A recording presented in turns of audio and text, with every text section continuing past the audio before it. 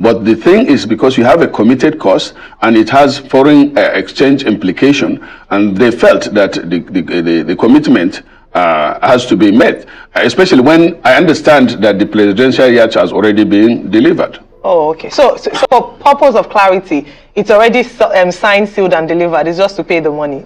So the outcry is not even necessary. Yes. All right. Y yes, yes. So the, the, the, the, deal has been signed, but uh, signed and delivered, but not paid. So, and that's why uh, that's what brought the inclusion of that uh, amount in the supplementary budget. I'm not surprised. If you are surprised, it means that you under you underestimate the power of legitimacy, right? When a government is not legitimate, it's likely going to perform all its activities and functions illegitimately. By by law, a budget is a law, and that's why it goes through the House of Assembly for passage, right? And so, of course, you understand that the legislative arm is the um, law-making arm of gov of government, right? They make laws, and then the um, executive implements, executes the laws, and of course, while the judiciary interprets the law, of course, and then I don't know what they're interpreting, and then punish law offenders. By all situation right now, if you say you sent a supplementary budget to the um, House of Assembly, right? And you ask them to look into it, review it, and then pass it to you. Whereas you have already taken delivery of the presidential yacht. now, joke with a joke for this country. It's safe to say now that this is not a country. This is Banana Republic. This is a criminal gang. This is um, a jungle of some sort, right? It, it, this is, this is a stamp on that um, fact, right? And you can take that to the bank moving forward because that's a senator, that's the majority leader of the um, of the Senate, right? Agree that it has been signed, sealed, and delivered. There is nothing we are going to do. We are just ranting. We are making noise, right? The outcry, public outcry, like you put it there, is for no cause. It's useless. And then this, there are some guys who are in the APC that have been defending this. There's a Bayo, a certain Bayo, Onanuga, who is SA to the uh, president, that have been saying that the presidential yacht is is a navy uh, requirement, so to speak. But he did not. He, he, he did not say it has been delivered. You see, we do not have a revenue problem with this country. We have a problem with transparency and accountability of people that we call leaders that are not leaders, uh, who who find their way in the helms of affairs, unfortunately, either by whipping sentiment of tribe or religion or party to get in there. And that's what we have. By, by right.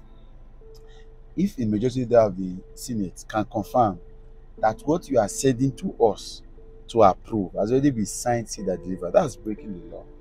Right? Uh, Nigeria is gone, right?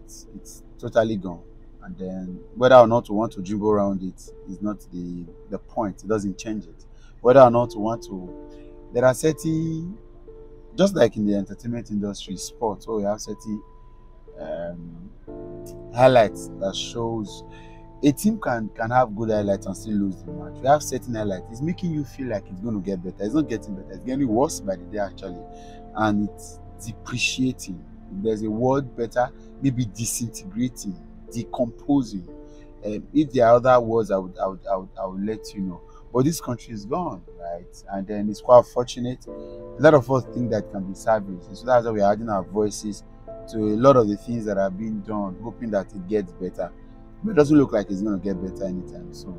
Because you want to argue why you have received or you have taken delivery of a particular um, luxury item.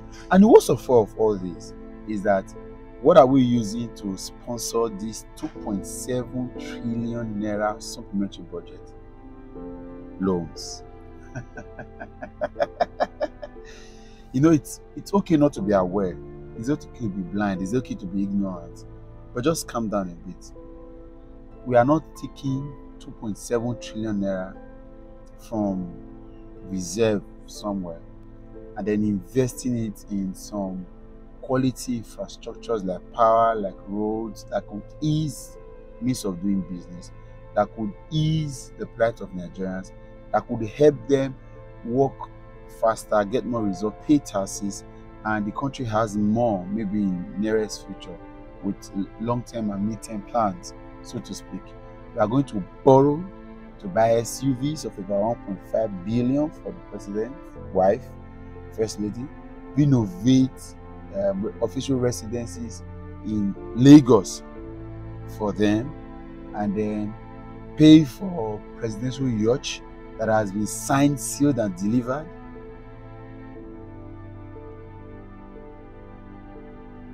Fix. We are borrowing to do very stupid things. I don't blame Tinubu actually.